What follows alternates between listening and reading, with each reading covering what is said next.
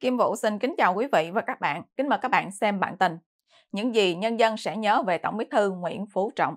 Ngày 19 tháng 7, trang blog Lê Quốc Dân trên VOA Tiếng Việt có bài bình luận Di sản Nguyễn Phú Trọng. Tác giả cho rằng, sau sự ra đi của Tổng Trọng, đây là thời điểm thích hợp có thể bình tĩnh nhìn lại những di sản của một người mang chân mệnh đế vương. Theo nhận xét của tác giả, ông Trọng là một tổng bí thư đặc biệt, bởi nếu không phải là một con người đặc biệt thì không thể được tập thể coi là trường hợp đặc biệt, đứng trên cả hiến pháp và điều lệ đảng trong một thời gian khá dài. Và đây là hình bài bình luận trên blog Lê Quốc Quân VOA. Tác giả cho biết, ông Trọng làm tổng bí thư trong 3 nhiệm kỳ liên tiếp, bất chấp điều 17, điều lệ đảng quy định đồng chí tổng bí thư giữ chức vụ tổng bí thư không quá hai nhiệm kỳ liên tiếp. Khi là tổng bí thư, ông lại thay mặt nhà nước trong rất nhiều hoạt động đối ngoại, mặc cho điều 86 hiến pháp minh định chủ tịch nước là người đứng đầu nhà nước, thay mặt nước Cộng hòa xã hội chủ nghĩa Việt Nam về đối nội và đối ngoại. Ông Trọng từng là chủ tịch quốc hội trong suốt 6 năm và sau đó trở thành người thứ ba trong lịch sử đảng, vừa là tổng bí thư kiêm chủ tịch nước chỉ sau Hồ Chí Minh và Trường Chinh, tác giả cho biết thêm. Theo ông Lê Quốc Quân, sự liêm khiết đã đảm bảo cho ông Trọng một uy tín nhất định trong một thời gian dài và được xem là hình mẫu về người cộng sản cuối cùng tha thiết tin vào sự trường tồn của đảng. Tác giả lưu ý rằng Tổng bí thư không chỉ giỏi về lý luận với tư cách là Chủ tịch Hội đồng Lý luận Trung ương suốt 6 năm, từ năm 2001 đến năm 2006. Ông còn được cho là biết giải quyết các bài toán thực tiễn trong chính trị nội bộ đảng, nơi độc tài luôn luôn đi kèm với những nước đi quyền bính đầy mưu lược. Và đây là hình cố Tổng bí thư Nguyễn Phú Trọng. Về di sản đối nội, khi đảm nhiệm hai chức vụ quan trọng nhất cùng một lúc là Tổng bí thư và Chủ tịch nước, cho đến khi ông nhắm mắt xuôi tai, mọi việc vẫn còn đang gian dở và không được vuông tròn như ông mong ước. Những nhân sự ông gầy dựng đều đã phải ra đi vì chiến dịch đốt lò do chính ông khởi xướng. Tác giả nói thêm, mặc dù công cuộc đốt lò của ông đã được nhiều người nức nở ngợi khen, nhưng cũng phơi bày ra trước mắt nhân dân rằng quan chức đảng thực sự là một bầy sâu và bất cứ ai cũng có thể thành củi. Về mặt đối ngoại, theo tác giả, có lẽ chưa ai có được cơ hội tiếp xúc và gặp gỡ nhiều lãnh đạo thế giới, cả Đông và Tây như ông Trọng. Với 6 năm làm Chủ tịch Quốc hội, 12 năm làm Tổng bí thư, trong đó có 3 năm vừa là Chủ tịch nước kiêm Tổng bí thư, ông đại diện cả nhà nước và đảng trong nhiều hoạt động đối ngoại và có cơ hội gặp gỡ rất nhiều lãnh đạo thế giới. Dưới thời của ông, Việt Nam phiêu lưu di chuyển trên một đường ranh quan trọng trong lúc mâu thuẫn giữa hai cường quốc dân cao và thế giới đang chia phe rõ rệt. Và đây là hình Tô Lâm, nhà lãnh đạo cứng rắn, người kế nhiệm tổng trọng. Cho đến thời điểm này, Việt Nam đã có 6 đối tác chiến lược toàn diện và 12 đối tác chiến lược đã ký kết 16 hiệp định thương mại tự do song và đa phương như một minh chứng cho một nền ngoại giao cây tre của Tổng Trọng. Tiếc rằng với quyền lực lớn lao của mình, ông Trọng đã không đạt được một nền tảng lâu dài, có tính hệ thống cho Việt Nam. Hiến pháp năm 2013 vẫn ghi nhận sự lãnh đạo của đảng, kinh tế nhà nước vẫn giữ vai trò chủ đạo là bước lùi trong việc đảm bảo nhân quyền ở Việt Nam. Báo chí bị quy hoạch và bất đồng chính kiến bị bắt tràn lan, xã hội dân sự bị tấn công và ngôn luận bị kiểm soát chặt chẽ. Tác giả mô tả, kinh tế Việt Nam bắt đầu chậm lại và nhiều thiết chế xã hội bị lu mờ. Đã một thời, người ta hy vọng có được một nhà nước pháp quyền, một xã hội dân sự lành mạnh và nền tư pháp được cải cách. Tất cả những điều đó hầu như đang dừng lại, đặc biệt là tự do báo chí. Sau cùng, người ta sẽ nhớ về Tổng Trọng với chiến dịch đốt lò, ngoại giao cây tre và đàn áp bất động chính kiến. Tác giả nhận định.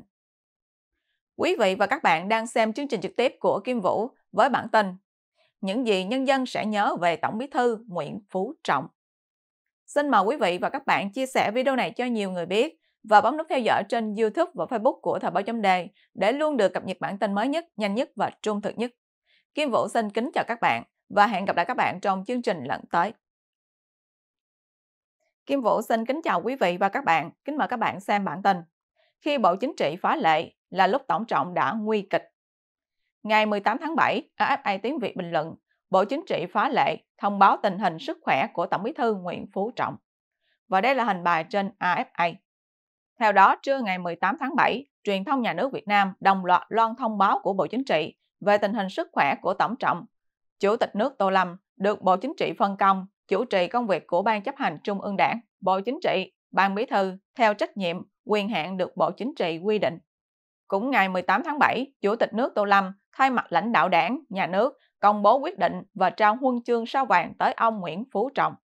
Lễ trao tặng huân chương diễn ra tại Bệnh viện Trung ương Quân đội 108, nhưng không có hình ảnh nào được truyền thông đăng kèm.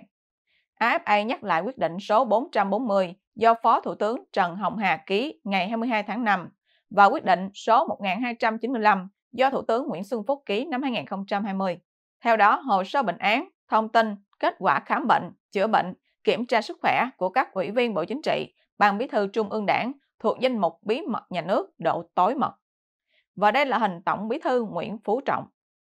AFA dẫn nhận định của một bác sĩ ở Hà Nội từng chăm sóc sức khỏe cho lãnh đạo cao cấp nói rằng khi mà họ phải phá lệ, thông báo ra, tức là nó có chuyện rồi. Người ta thông báo thế để dân khỏi thấy bất ngờ, chứ thực ra dân biết cả rồi. Trước đây có hai vị lãnh đạo chết, lúc còn đương chức là ông Hồ Chí Minh và ông Lê Duẩn. Bây giờ ông Trọng có thể là người thứ ba. Sở dĩ tôi nói vậy vì Bộ Chính trị thông báo tình hình sức khỏe ông Trọng cùng lúc với tin trao huân chương sao vàng cho ông tại bệnh viện. Thường huân chương này hầu như được trao lúc sắp chết hoặc đã chết vì nó là huân chương cao quý nhất của nhà nước Việt Nam. Tổng bí thư Lê Duẩn nhận huân chương sao vàng khi đã mất rồi. Vị bác sĩ này nói thêm, ông Trọng là lãnh đạo cao cấp thứ hai được Bộ Chính trị thông báo về tình hình sức khỏe. Ông Hồ Chí Minh là trường hợp thứ nhất, ông kể. Tôi nhớ cuối tháng 8, đầu tháng 9 năm 1969, chính tôi nghe Đài Hà Nội thông báo cho đồng bào và chiến sĩ cả nước biết tình hình sức khỏe Hồ Chí Minh không tốt và các bác sĩ đang cố gắng chăm sóc sức khỏe cho chủ tịch thì chỉ vài ngày sau ông ấy chết. Và đây là hình Tô Lâm đã đạt được một chân vào vị trí tổng bí thư. AFA cho biết tình hình sức khỏe của ông Trọng bị cho là yếu đi từ sau lần đột quỵ ở Kiên Giang vào giữa tháng 4 năm 2019, dù báo chí nhà nước hoàn toàn im lặng. Sau sự kiện đó, ông Trọng nhiều lần vắng mặt tại một số buổi tiếp đón các nguyên thủ quốc tế. Đặc biệt trong tháng 1 năm 2024, ông Trọng không xuất hiện để đón Thủ tướng Lào, Tổng thống Indonesia trong những chuyến thăm tới Việt Nam của hai vị lãnh đạo này.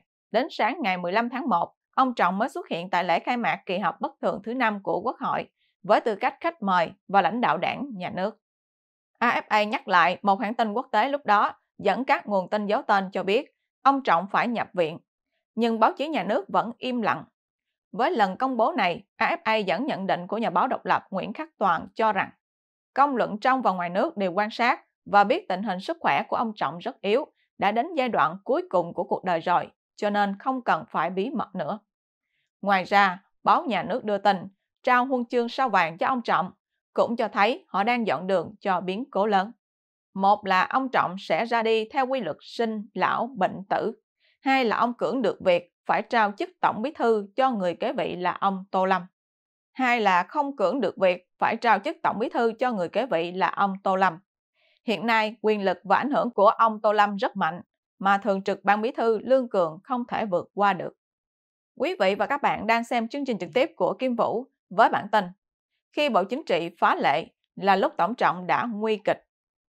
Xin mời quý vị và các bạn chia sẻ video này cho nhiều người biết và bấm nút theo dõi trên YouTube và Facebook của Thời báo chấm đề để luôn được cập nhật bản tin mới nhất, nhanh nhất và trung thực nhất. Kim Vũ xin kính chào các bạn và hẹn gặp lại các bạn trong chương trình lần tới.